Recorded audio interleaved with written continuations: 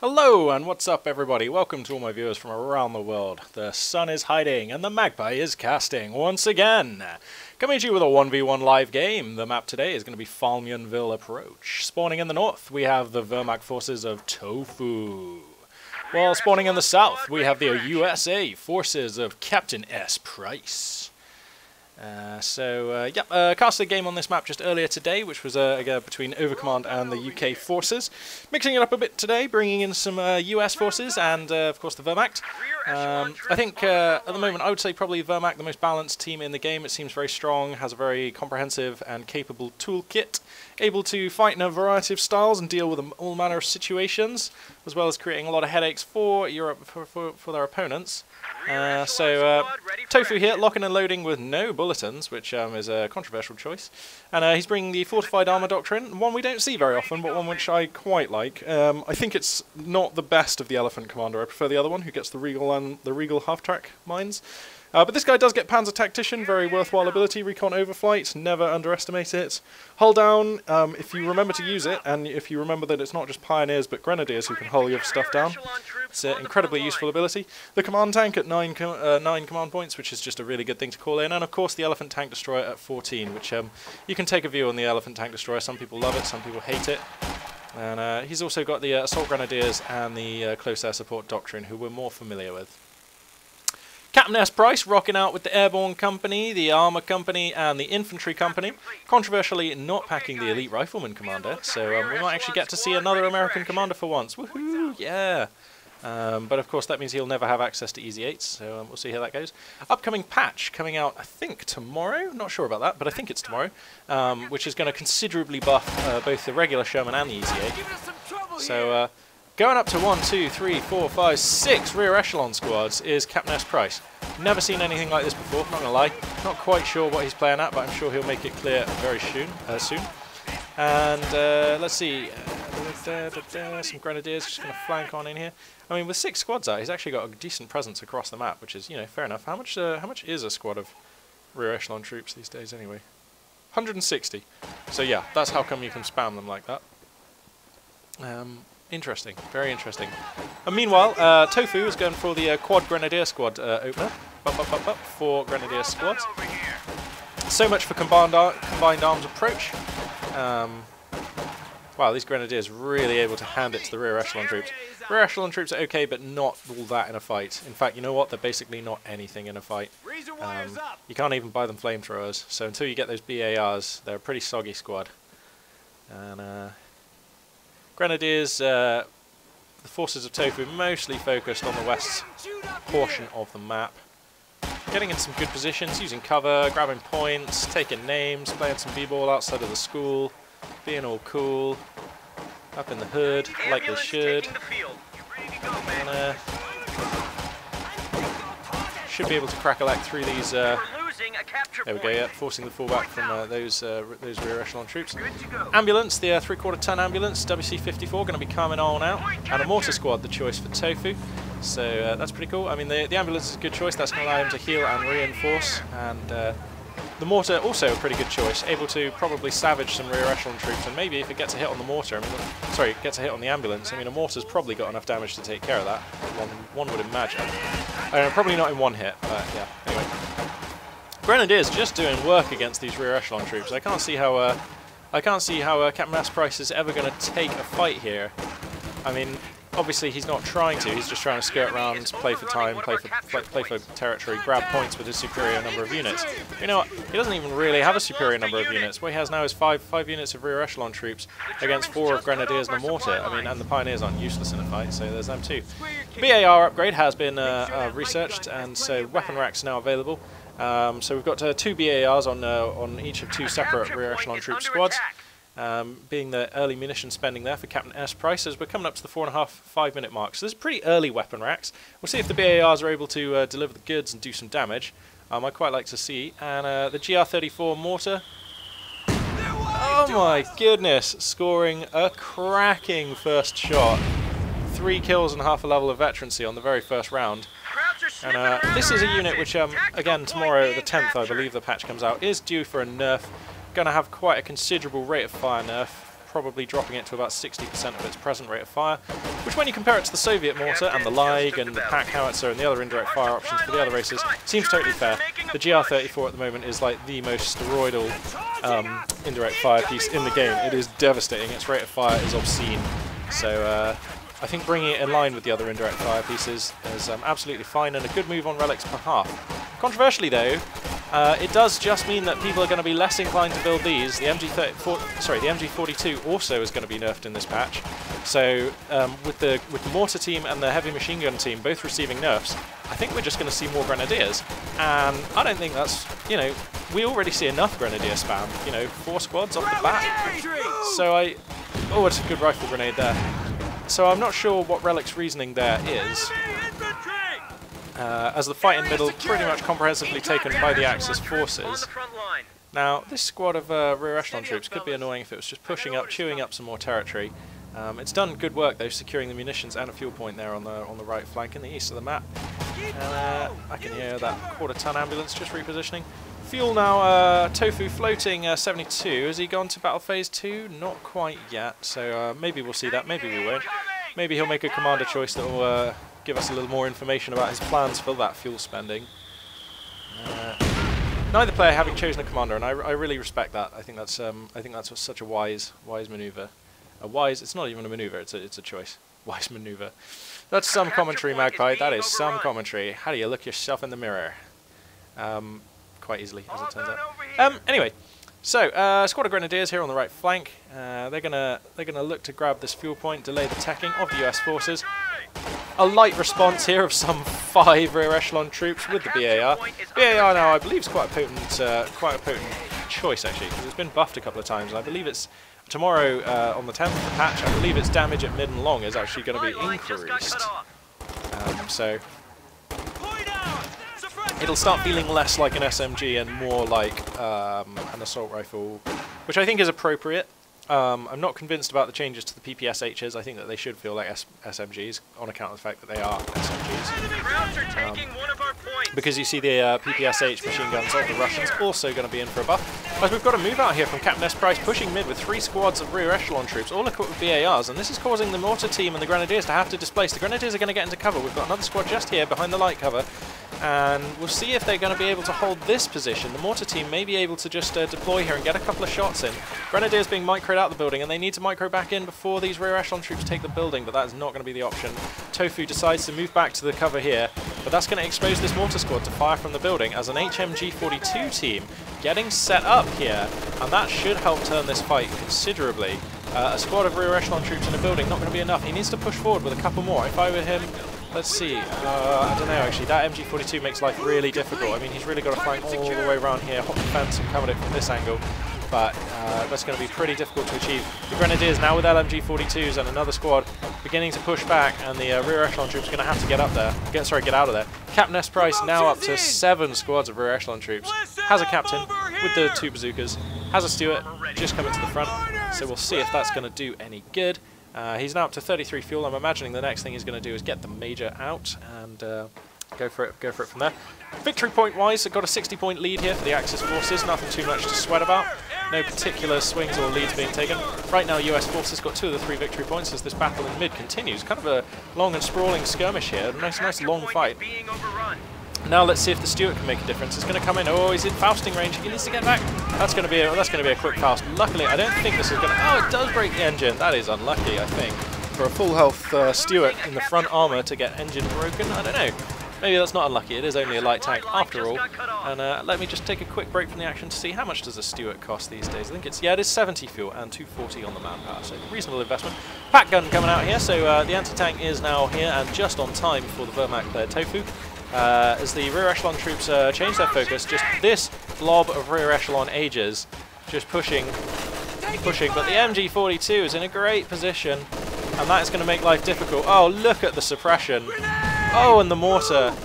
And you've got to say, combined arms there, pretty effective against the unit spam and blobbing of the US player. Now, I'm not saying, you know, that's necessarily his fault, and I know that the US, particularly in the early game, early mid-game, doesn't have a lot of unit versatility, not a lot of unit choices that they can bring to the field. And uh, this Stuart's finally going to displace the MG. That's going to force the MG out. Wow, if it doesn't kill the MG, that is a good hit right there. Actually, though, the pack gun's in position. Strikes in one round, might get a second. It's not going to get a second. Okay, that's fair. And uh, of course, I suppose the advantage of having swarms of rear echelon troops is, of course, that they can just they can all repair your vehicles, can't they? So that's pretty cool. He's still going to use the vehicle crew repair, and they do repair very quickly to the vehicle crews, so that's that's also a good choice. Fair enough. Look at that repair rate, beautiful. Um, squad of Pioneer, well I say a squad of Pioneers, Solo Pioneer up here, Hans Solo. That actually works because Hans is a German name, you see. Uh, going to push up uh, in the north. Um, now where's the MG42 in all this? Still being reinforced now, it's coming to the front now, but this is a big blob of BAR echelons and they know that that MG42 isn't in position yet. It's running to the front now, but as soon as it gets spotted, how is the engine still broken? What the? What the? Oh, sorry, I missed some action with the Stuart there. Oh, that's crucial because it means that this MG42 is, is there's, there's no answer for it. And these guys are all in the arc.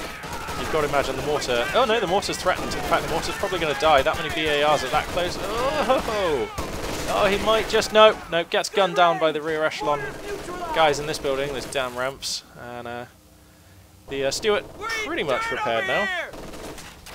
Needs to get these guys out of there. They're not achieving much by being suppressed by the MG42 in that position. And uh, the Stuart ready to rock once again, nearly up to one star veterancy, so uh, that's pretty cool. Let's go and check on the fuel spending for the Wehrmacht player. He has still not escalated to Battle Phase 2, so not quite sure in actually what he's saving his fuel for just now.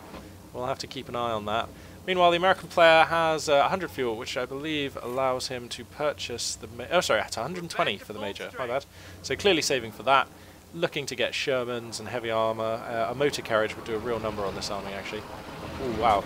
This is a Stuart which is in a dubious position. Just want to get out of there. These two pack guns will just be keen to take shots into this guy. Positioning him in an ambitiously far forward position. I'm not sure if I like this unsupported. Squad of rear echelon troops in the north with backup. Gonna engage these Grenadiers. That should be a fight that they can take if they just push forwards. No LMG-42 on that Grenadier squad. Tofu uh, only floating around 60 munitions. Um, munition income actually actually far superior for Captain S. Price because he's managed to actually maintain control pretty much the whole game of this munitions point and for large swathes of the game has had this one. And when he when he takes this one in just a moment, we'll see his munitions spike up considerably. And that's going to allow him, I would have thought, to buy uh, perhaps more bazookas or even um, more BARs for his uh, rear echelon squads, which he's up to eight of now, like Armageddon. And if we look at his unit cap, I mean, he's on 51 supply with a captain and a Stuart and an ambulance on top of eight other infantry squads. I mean, Soviets eat your heart out, man. This is how to do proper, proper like waves of infantry and spamming, uh, spamming infantry rushes. Loving it. Loving the style here from Captain. Price. Clearly a commander who's um, used to using this style. I haven't seen him lose many of these rear echelon squads, and this is a really interesting window on a style of uh, US which I just, honestly, I've just never really seen before. Maybe a lot of people use it. No idea. But it seems pretty cool. And um, what I'm most surprised at is the fact that he's actually making it happen. You know, he's actually making it work. Uh, if we look at the veterancy on the German forces, not as much as you might think, um, which means that they really haven't killed that much, or if they have, it's only been these cheap, you know, rear echelon troops who are not that great. The American force is now being bolstered by another rear echelon troop squad and a pack howitzer. So the pack howitzer is going to provide some much needed uh, indirect fire. It's got a good range on it, it's got some good accuracy, it can suppress, it can counter the mortar, it can counter the packs, it can counter the machine gun. So a good choice there from Captain S. Price. And uh, the German player, a little bit beleaguered now. If we look at the map, he's a little bit besieged. And there's enough rear echelon troops that he... Oh, wow, I think the Stuart... Oh, sorry, missed it. The Stuart went down to these two packs, position well. The uh, ambulance gets spiked as well. So just as I say Captain S. Price is doing well, he loses all his fuel investments here in the middle of the map. Well, nearly all of them. The captain, I suppose, is a fuel investment. And uh, that is a heavy loss for the American player. Though not as heavy as you might think. He no longer needs that Stuart to counter the MG when he has the pack howitzer. So here's the pack howitzer coming out just now.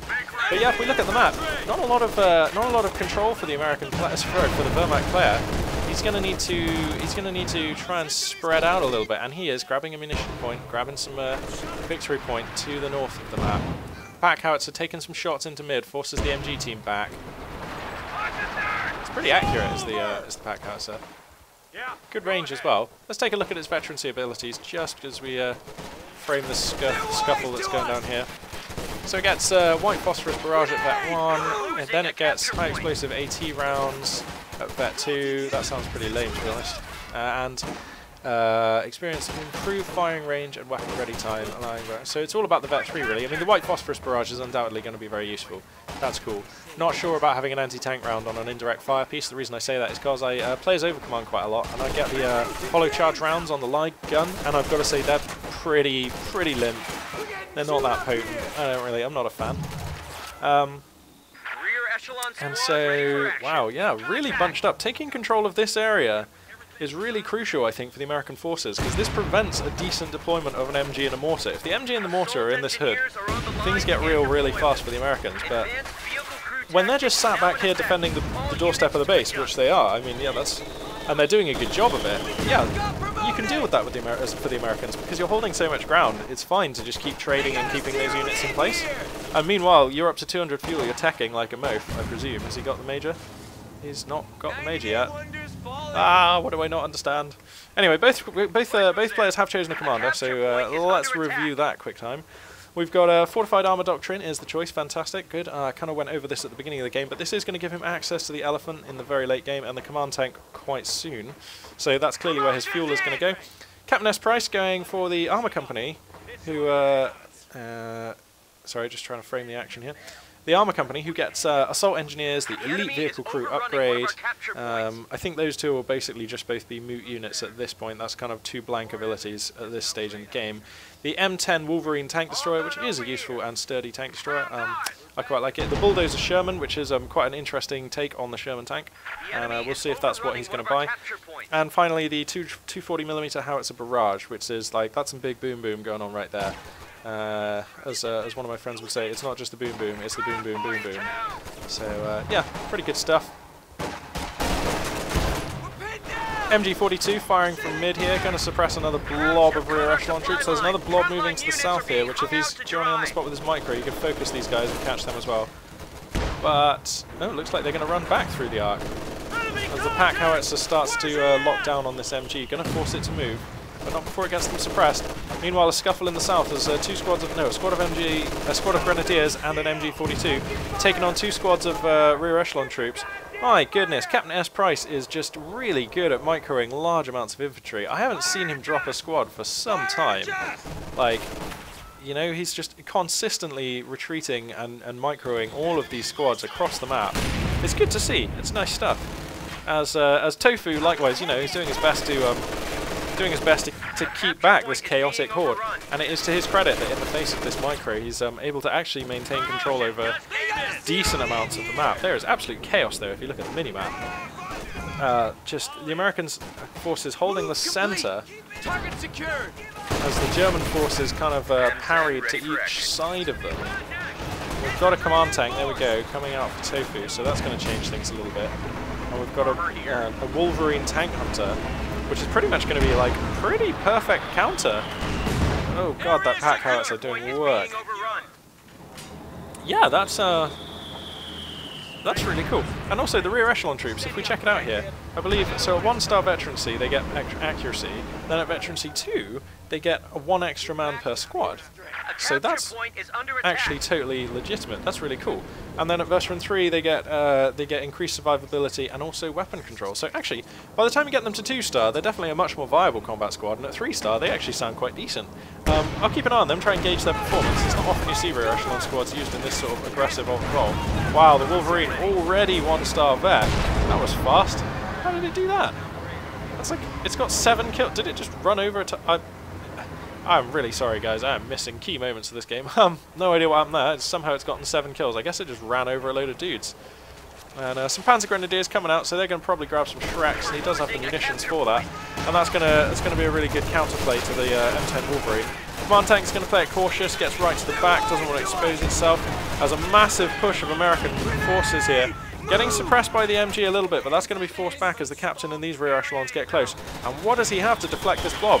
It's going right for his pack guns, and he's going to start getting them back, but they might get overrun. No, he's going to get them back in good order. And here comes the uh, command tank as another M10 Wolverine joins the field. Wow, this is constant action. There's just constant action all the way across the map.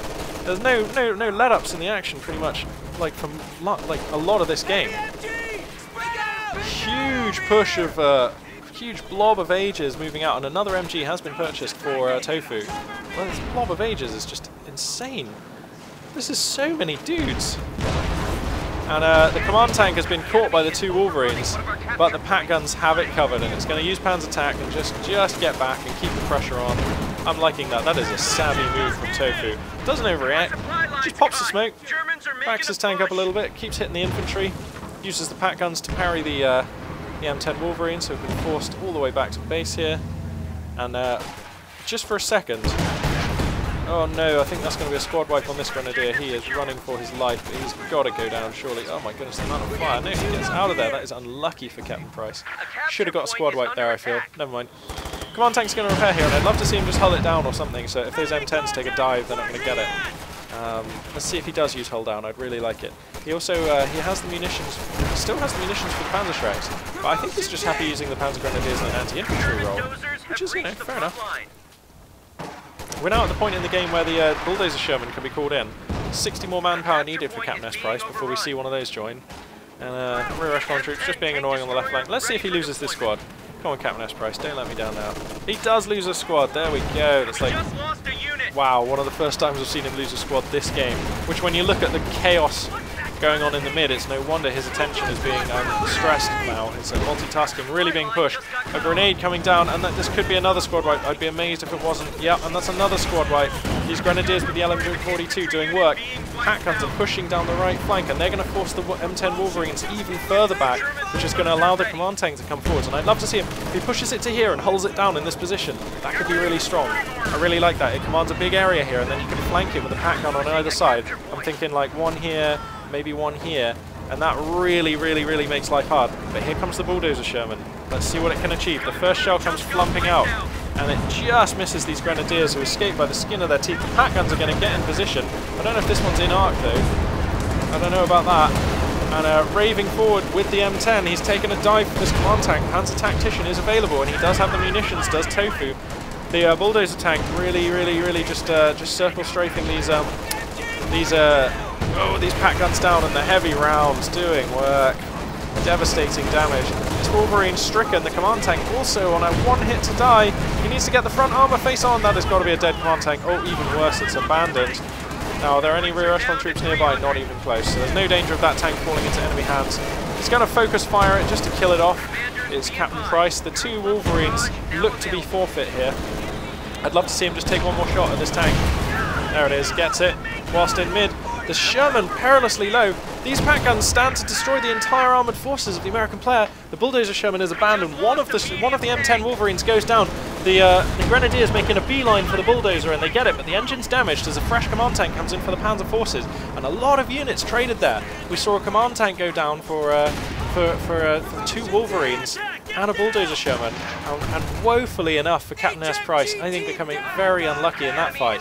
The Bulldozer Sherman looks to be salvaged, and there's nothing that this vehicle crew can do about it. The Bulldozer Sherman is going to get out. The command tank is just racing forwards. He knows his opponent doesn't have much in the way of anti-tank at this point. And with that exchange, for the first time this game, I'd say, one of the players has firmly has the upper hand, and that is Tofu. Now let's see how he how he can exploit it. He's got a, he's got a squad moving up in the north and another in the south, just moving down each flank of the map, grabbing gra grabbing ground whilst his opponent is trying to rearm and reinforce. Look, see all of the American players' units are right here. Look at the minimap. The Wehrmacht player moving out in the north and the south, capitalising on this moment. Uh, to grab as much ground, secure as much resources, maybe even start making a push on the victory points. And um, and it's, it's on the American player, Captain S. Price, to break out of this deficit now. He is well and truly contained. And I'd say in about 30 seconds, that container is going to become a siege, as we have here the weapon teams pushing forwards. The, the Wehrmacht forces nearly ready to, uh, to push forward, and the new battle line will be around the American base. That is assuming, of course, that he's not able to move out in this brief window he has before the weapon teams are in position. Oh, and a bunker being constructed in mid. Oh, I like this. Oh, this is good work here from Tofu. Not often you have the spare manpower for that kind of thing. Um, but going for it anyway. And uh, the bazookas here on the uh, on the American forces are going to force the command tank back. You know what? Actually, they could rush this position. Oh no, there's a squad of grenadiers here. With an LMG. 42, so that doesn't seem so wise. They should get in this building maybe, or they're just going to use the car. And an, an MG42 is the uh, is the upgrade of choice on that bunker. Again, that does make sense, but I think it's going to get focused down by bazookas well before it can do anything useful. Pack Carrots at the back, providing good support as those Grenadiers are going to get back into the building. The GR34 mortar, combined with an MG42, doing work. Now, what is this ability that's been used? I believe it's the Battle Cry. On me! Uh, nearby infantry, even if suppressed, get a movement boost. So that's what he uses to break the suppression there. But with that ability now used, and this uh, this blob of rear echelon troops dangerously clustered, um, uh, Captain S. Price is going to be forced to fall back. And uh, that, it was a, a valiant attempt at pushing mid, but contained and dealt with deftly. I have to say, when you look at the exchange of forces that occurred and the uh, and the way the fights were taken, you have to feel like Tofu was just just in control on that one. Now let's see, on the right flank, this unit of rear echelon troops gonna start taking that fuel point, sorry, that victory point back. We lost a gun crew. The pack howitzer gets taken out, or at least the crew get taken out. And this command tank just poking, just doing some work. And we're at the stage of the game now where at 245 fuel, if he ever gets 720 manpower, the Wehrmacht player could call in an elephant. But at the moment, there's not even a single good target for an elephant anyway, so I mean, well, I guess the ambulance, but I mean, not a single target that justifies an elephant, so. The captain here, grievously low on men. He needs to, he's very low on health and uh, models, so he needs to fall back. And I'm not sure at 75 fuel what the American player can do in this situation. Now, he does have the captain, which I believe means that he can construct AT guns. Yes, there we go. And here we have the M1 57mm anti-tank gun. Very good anti-tank gun. Got a good arc on that gun. Not quite the penetration that the pack brings to the table, but that's going to allow him, uh, it'll easily keep a command tank at bay. And since that's the main issue, um, that could be really good. Now, it, it, basically it comes down to whether this AT gun gets hit by mortars or, or, or a rifle grenade or something because um, Captain S. Price is running out of time now, and he needs to make something happen to take this game back. It ain't over. It ain't over by a long shot. Oh no, as the Bulldozer Sherman is repaired and coming back onto the field for the German forces. Yeah, Bulldozer tank is only way. Yes, I know he wasn't German, but it's still cool. Um, so, Oh, the mortar gets a squad wipe there. Jeez, that thing must be up to three star, and it is. And uh, this blob of ages. I mean, it's a great. It's a. I, I, I'm, I'm convinced. Okay, I'm down. Captain S. Price, you have sold me on mass spamming of rear echelons, getting their weapon racks early, making plays, and playing America this way. It's cool. I like it. I've not seen it before, but it's awesome. But at the 27 minute mark when you're staring down a bulldozer Sherman, a Panzer Command tank, a couple of MG42s, a three star mortars with good support in the form of a few squads of, of Grenadiers and Panzer Grenadiers, it doesn't cut the mustard. You just don't have the variety of unit abilities, ranges, and, and, and kind of, you know, stone, paper, scissors matches to take down a foe which has both stone, papers and scissors, or all three of them. Um, so like I just feel like when you look at the American force, it just doesn't have the balance, the poise, if you like, the potency of this German force. And the Bulldozer Sherman is pretty much the ultimate counter for these blobs of rear echelons. Oh my, Ugh, just flumping in for damage. Kind of a mini Brumbar, if you like. And uh, here comes an M10, which I like. I like the M10. It's a good choice. He doesn't really want... I mean, a bulldozer doesn't really do well. The M10 is definitely the correct choice here. Uh, lacking a major cannot go for the Jackson, but if he spends his manpower predominantly on AT guns and spends his fuel on those uh, Wolverines, then uh, Captain S. Price has enough time to try for another push. He doesn't have much time though. Got 20, he's got uh, 30, 30, 31 ticks remaining in this. Is that right? That is miles off. 51 ticks. Now 50 ticks. Now 49 ticks remaining in the game. Um, so that's uh, that's his primary concern, basically. He's uh, he's not got long, and he's gonna have to he's gonna have to uh, figure out a way back into this game because he needs to capture a victory point. Also, uh, okay, yeah. Luckily enough, the fortified armor doctrine does not have a, a call-in artillery strike he could use here because that would be kind of horrible if he did. Just saying. And like this position is nice. I mean, how do you approach this at the moment with America? You don't, and that forces you onto the flanks. I, would love to see him just push the south, because there are no Wehrmacht forces here, and he hasn't actually tried that for a while. So if Captain S. Price was to just send, I don't know, I would say three of his rear echelons and, and the Wolverine down to the south, and then put the M10 here to catch German armor transferring, I like that. I think that that could play nicely. And uh, oh, the pack gun has been remanned. Captain S. Price, no slouch on the resource spending. Absolutely uh, making the most of uh, what he can. The M10 is, is taking good shots at this command tank, and the uh, armor in a bad way. The command tank about to die, and the Bulldozer Sherman with the M10 in its rear armor. Wow, Tofu needs to get on top of his uh, armor micro. Now he's reversing into the into the enemy lines, and that is going to be a dead command tank. And that's a good start for Captain S. Price. if he can just take care of the Bulldozer Sherman, he's going to be in a good position. I mean, I don't know if he wants to do it now, but having taken care of that command tank is already a really good thing. The, the, the bad news, of course, is um, uh, Tofu has all the all the fuel he needs to call in another two command tanks. Should he need, he doesn't have the manpower just now, but that's the kind of thing you can save for, and it kind of you know, and it doesn't take so long now, troops on the front line. He might just be planning. I mean, he's beginning to stash up some manpower. We'll see if he spends it on a squad or if he does go for a vehicle. If he goes for a vehicle, I think another command tank is the right choice. Yeah, you can try and save up for the elephant, but costing 720 manpower, that's going to take you quite a while. And I mean, as I said before, it would just be a statement of like you know just saying look I'm so far ahead I've got an elephant and not really a useful unit. yeah sure you'll kill your opponent's M10 Wolverine you know but that's not even that's not even that great of a prize you know and if you if you're spending an elephant if you're building an elephant just to kill an M10 you know that that money could have gone better places that's all I'm saying. Um, also, actually, does he even have the unit cap? No, it costs 25, so he can't even call that in. And he's not going for it, the command tank comes out, so for all those reasons, and probably some of his own, Tofu deciding to make the right choice. Goes for a command tank.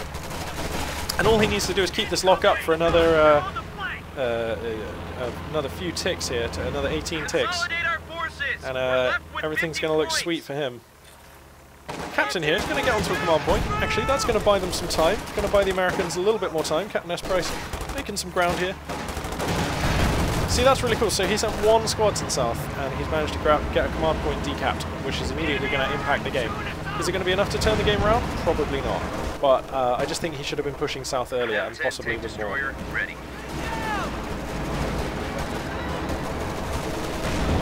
M10's going to come up to the north. Going to push this command tank back. The M10's really good. I think people are underestimating this unit a lot. I think this is really good. Every time I've had one, it's done really well. It just seems really consistent. Um, less consistent when it's being spammed by Pak guns though, although six rear echelon brave troopers gonna make it through and start focusing fire. They get one of the Pak guns. Meanwhile, just to the south of this action, the MG42 is taking care of the rest of the infantry, and the force is now severely depleted for the American player. He's going to get this command tank, though. It's pretty cool. Yeah, I like that. This M10 Wolverine now up to 2-star, but with 11 tickets left, and only capping one of the three command points. Sadly, I think that, that is the end of the game.